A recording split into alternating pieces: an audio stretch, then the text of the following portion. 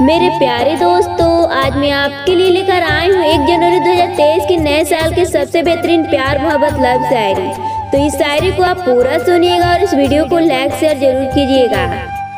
नज़र से दूर है फिर भी फिजा में शामिल है। कि नज़र से दूर है फिर भी फिजा में शामिल है। तेरे प्यार की खुशबू हवा में शामिल है। हम चाहकर भी तेरे पास आ नहीं सकते। कि हम चाहकर भी तेरे पास आ नहीं सकते? दूर आकर भी मेरी वफा में शामिल है।